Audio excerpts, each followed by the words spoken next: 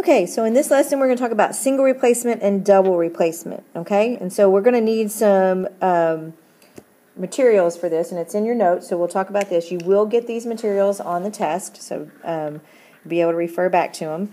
In some ways, uh, single replacement is a lot easier because you don't necessarily have to predict exactly because you can just check the activity series. So the way that we, are we will recognize a single replacement is it's always going to have an element and a compound, okay, on both sides, okay?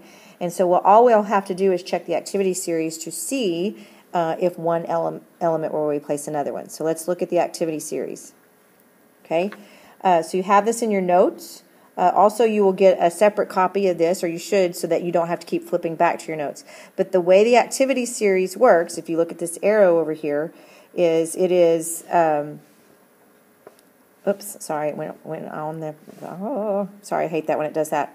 It's my bad. Um, so if you notice right here, the arrow, it means the most reactive is at the top and the least is re reactive is at the bottom. So if I look at this list of metals, that means lithium is the most reactive metal, okay? It means it can replace anything that comes below it. So lithium can replace everything on this list, okay? And if you look down here at the bottom at gold, it is the least reactive, meaning it can't replace anything that comes above it. Okay? So let's look at calcium right here. I want to know, will calcium replace, say, iron? And I see calcium's here and I see iron's right here. And so, yes, it could. All right? But iron could not replace calcium in a compound because calcium is more reactive. Okay? Same thing over here with the nonmetals. Fluorine is the most reactive, so it can replace everything, but iodine can't replace anything okay? And so we'll do a couple of examples so you can kind of see how this works. But what I want you to make sure, what I want to make sure that you understand is that metals will only replace other metals, okay? And then nonmetals will only replace other nonmetals because you still have to put a positive and a negative thing together. So metals will only replace metals, nonmetals will only replace nonmetals with one exception, and that is right here, hydrogen. Okay, if you see that right there.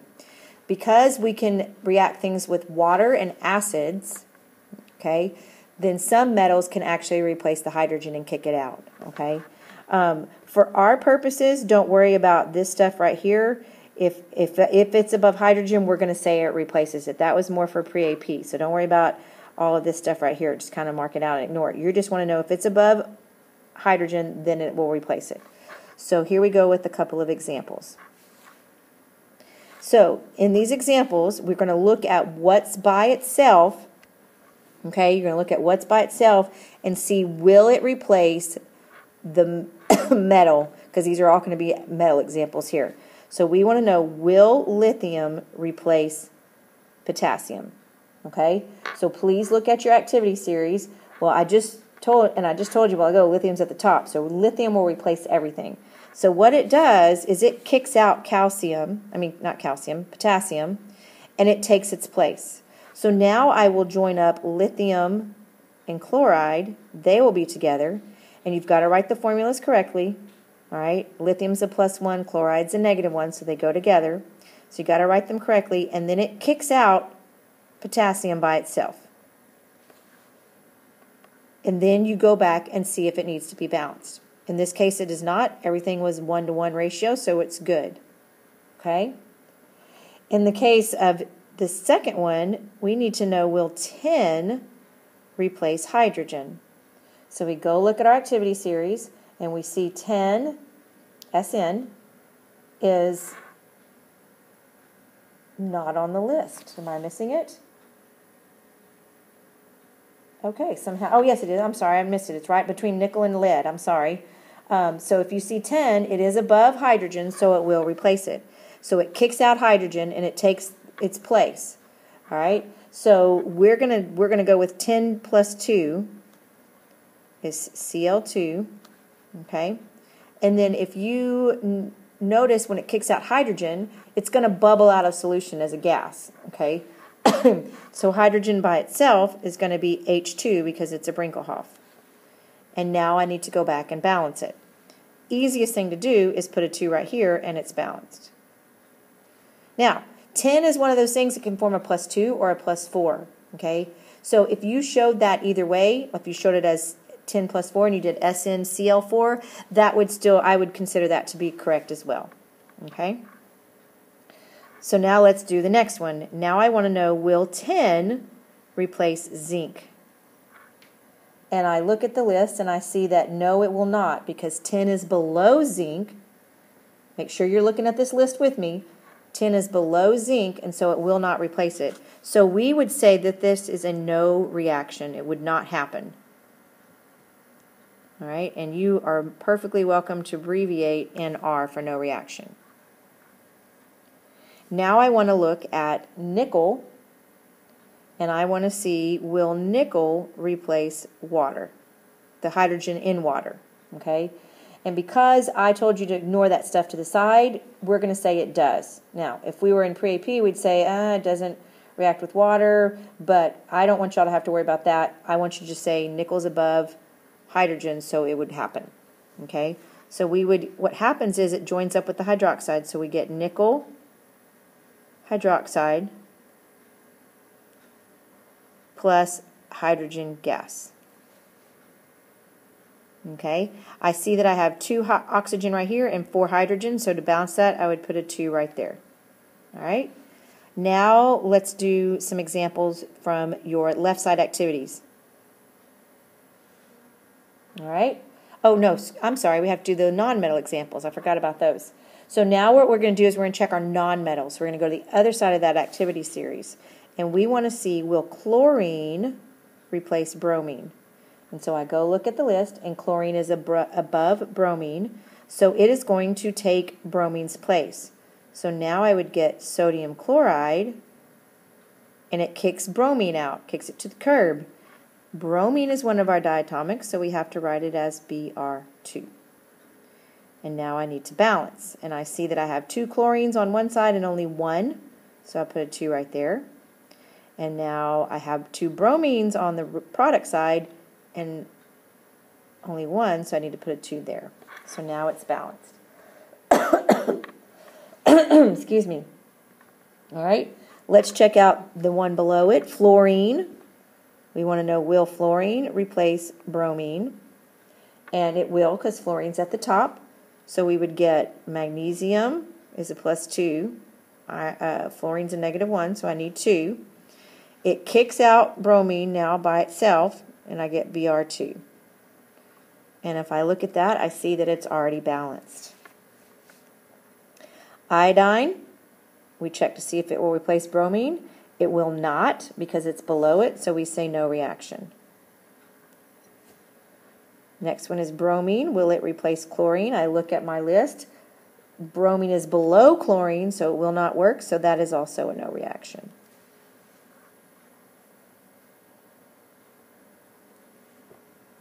All right, some of our examples, okay? So I have silver nitrate, which I would write as AgNO3 plus nickel. So I want to see if the metal will replace the metal. I look for nickel. It is above silver, so it does happen. So I would get nickel nitrate which is normally a plus 2. And then I would go silver out here. Okay? I'm going to treat that nitrate as all one thing. I have two of them on this side. I only have one on the reactant side, so I'm going to put a 2 there. And then that will force me to put a 2 there.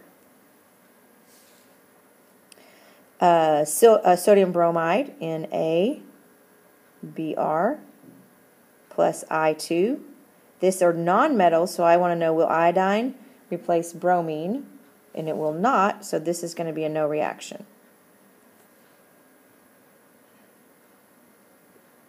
Last example, magnesium nitrate, uh, magnesium plus nitric acid. It came from 8, so it's coming from nitrate, so it's HNO3. And I want to know, this is an acid, so I want to know will magnesium replace hydrogen? and it absolutely will. So I'm going to get magnesium nitrate. Magnesium is MgNO3 I'll need two of them since magnesium is a plus 2. And then it kicks hydrogen out, so it's going to be H2. And so in order to balance that, only thing I need to do is put a 2 right there because now I have two hydrogen and two nitrates. So on the next slide, we'll talk about some examples from the lab because there was a couple of single replacements uh, from the lab. So let's talk about those. Uh, first single replacement that we talked about was the demo that I did where we put the zinc in the hydrochloric acid. Okay, so we had zinc plus HCl. And obviously we know that reaction happened because we saw bubbles. Okay, we saw bubbles. So you'll need to predict what that made. But that's an element in a compound, so it's single replacement. Also, we added the aluminum to the copper 2 chloride. That's where we put the aluminum full in that blue stuff and something happened with that. And so you need to predict that. And then we also did a single replacement that did not happen. Nothing happened. It was a no reaction. Um, and so you put something in, I think you put the copper in the sodium chloride solution and nothing happened. So we would call that a no reaction. And we visibly saw that nothing happened with that one. Okay? So I think that, oh, there was one other uh, single replacement that I'm going to actually have you find and predict, but there was one more uh, single replacement. Okay?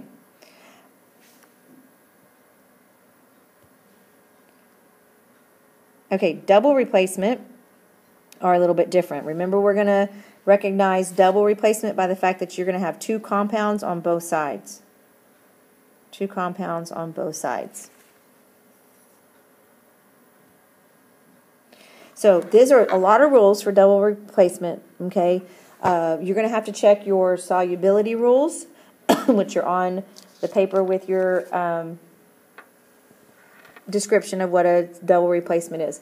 I am not going to read through all these rules uh, word for word, but I want to make read some of the highlights. So first thing you're going to do is predict the products that it's going to make, and I'll show you how to do that in a second.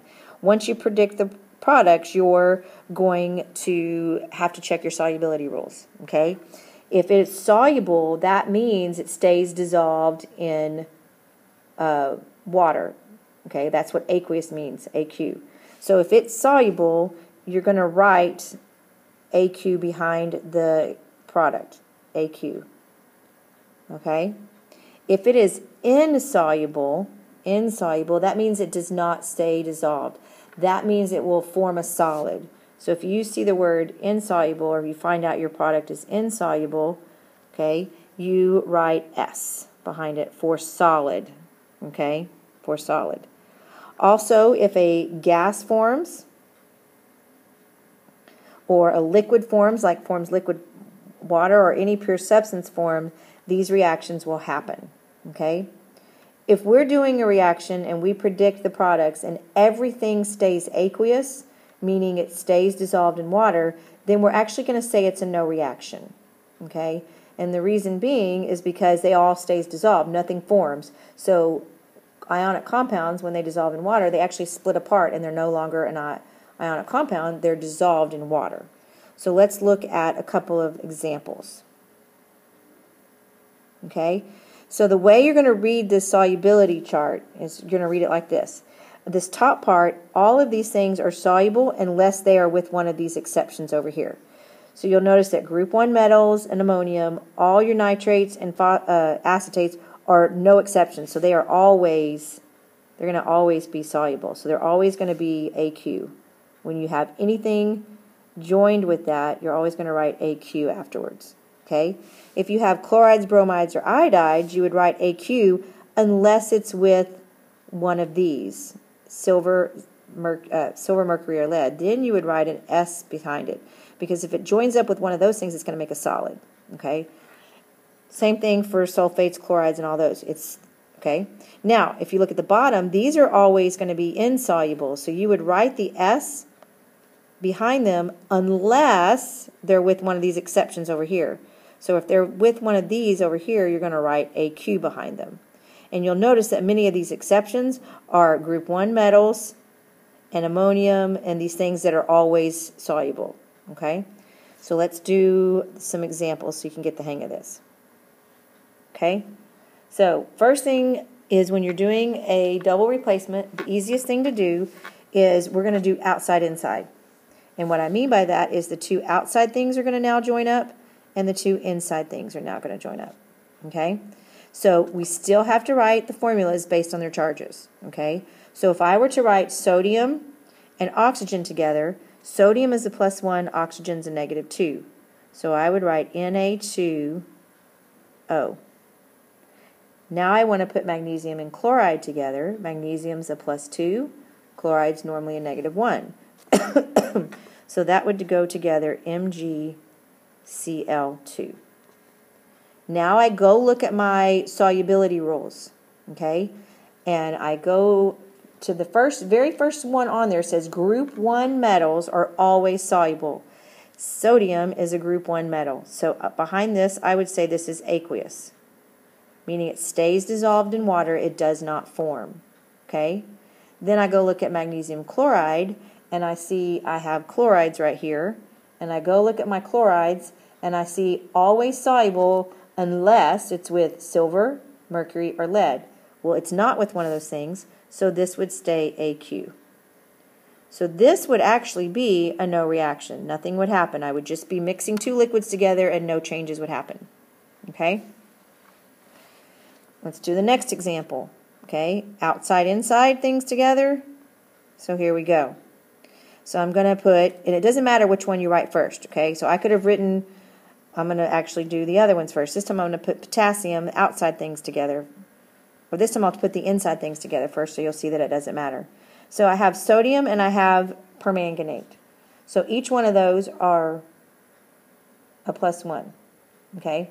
So I would say sodium, MnO4. Okay, now I'll put my outside things together and I've got potassium oxalate. Okay, so potassium is a plus 1, oxalate's a negative 2, so it would be K2 C2O4. And now I go check my solubility rules and I see I have two group 1 metals always soluble, so it's going to be aqueous plus aqueous. So this would be another example of a no reaction. Okay? Now, I want to show you an example of one that actually happens. Okay? So I'm going to do silver nitrate plus KCl. So I do outside, inside, and I get silver chloride, and I get potassium nitrate. And now I go check my solubility rules. Potassium is a group 1 metal. I know it's going to stay aqueous. So I'm going to put that right away. Start recognizing that group 1 metals always stay aqueous. But if I go look at chlorides, I see that chlorides are soluble unless they're with silver, mercury, or lead. Well, obviously I have silver here, so this one would stay solid. So this reaction happens. So if I needed to balance it, I would go ahead and balance it, okay? On those previous two, they they were no reaction, so I didn't bother to balance them because the reaction doesn't happen. So there's no reason to balance it if it doesn't happen. So only go back and balance it if the reaction happens. Okay? And I know this video is getting kind of long, but I kind of need to finish it. So I'm sorry this video is so long. Um, the good news is you're watching it in class, not at home. So let's do number two on our left side activities. So we're going to do silver nitrate. Oh, goodness get so mad at myself when I do that. So we're going to do silver nitrate plus potassium phosphate. So I'm going to have K3PO4. And if you're still struggling with writing formulas, I suggest you go back and review that uh, those lessons from chapter 7 because this is going to be important throughout this. So I'm going to do outside, inside together. Again, it doesn't matter if you want to do outsides together first or insides together first. It does not matter. Um, I'm going to do KNO3 first, just because I can do that. They're both one to one. And then I'm going to do silver and phosphate. Silver is a plus one, phosphate's a negative three. So I'm going to get AG3PO4. And I go look at my solubility rules. Potassium's a group one metal, always soluble. Nitrates also always soluble, so that's definitely going to be an AQ, meaning it does not form. Okay. Um, silver phosphate, I go look up phosphates and I find phosphates and I say, oh, they are insoluble unless they're with one of those exceptions. Okay? And so because they're not with one of those exceptions, they are insoluble, so that's going to be a solid. Okay? Now, I am going to balance that now because I have three silver. I need to put a three right here. I have three uh, potassium right here, so if I put a three right here, it takes care of it. Okay? All right, this next one is calcium acetate. Okay, it's Ca, C2H3, O2, and I need two of them, plus sodium carbonate. Okay? And so you might be able to get to the point where if you look at these, before you even go predict them, I can look at that sodium is a group 1 metal. So no matter what I put it with, it's going to be aqueous. Okay? Acetate, if I go look at that, it's always soluble. Okay? And so whatever it goes with is going to be aqueous. So I can look at this very quickly and go, hey, you know what? It's going to be a no reaction. Okay? And then the last one, excuse me, is calcium hydroxide that we're going to do. Plus phosphoric acid. Now, this one's going to be a little tricky because this is an acid and a base. Okay, bases or hydroxides. Okay, so you're still going to do the outside inside. Oops. Okay, so I'm going to get calcium phosphate. Okay, and then I'm going to get water. Okay, anytime I get an acid and a base, I'm going to get water. Okay, but it is going to be liquid water because it is a pure substance. Remember, aqueous means to be dissolved in water. I can't dissolve water in water. So it's actually going to make liquid water. So anytime you see an acid and a base, that reaction will happen. Also so happens that phosphate is also going to be a solid when you look at its solubility. Okay, so I am going to need to balance that. Um, I see that I'm going to need two phosphates because of this right here, so I put that there. Um, I see that I need three calciums because of this calcium right here. So now if I add up my total hydrogen, I see that I have 3 times 2 is 6, plus 3 times 2 is 6, so I have 12. So I'm going to put a 6 right there. Okay? I'm going to put a 6 right there. So that's balanced now. All right? Now, examples from the lab, there was only one example from the lab, okay? And it was the very last one, part 5, okay? Oops, sorry about that. Part 5. So you will need to do that and predict what happens because you definitely saw that something happened. Okay, again, I'm sorry about the lesson, and if you hear that door knocking, that's somebody in seventh period knocking while I'm trying to finish the lesson. All right, uh, hope to see you soon, guys. Bye.